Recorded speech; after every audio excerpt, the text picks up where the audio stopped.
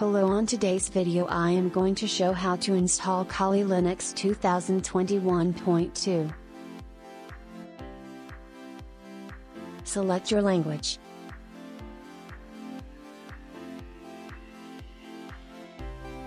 Select your location.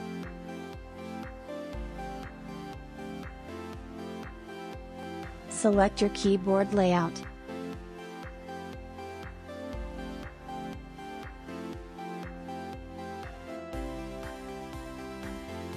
Set your computer host name and your domain.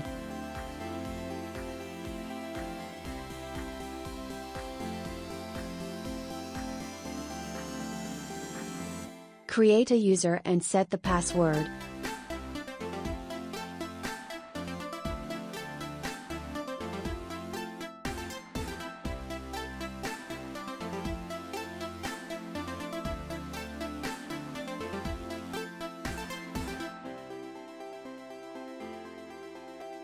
Select automatic partitioning or manual partitioning.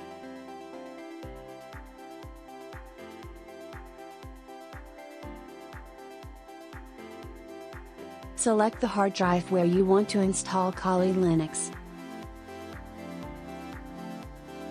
Select a partition scheme.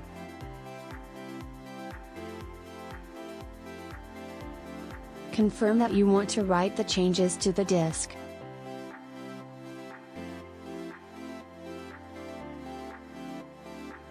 Optionally you can select an alternative desktop environment and additional tools.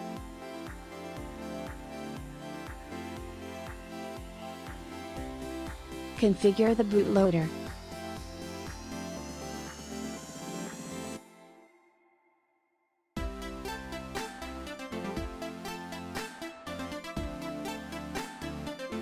Thank you for watching the video and please help the channel by sharing leaving a like and subscribing.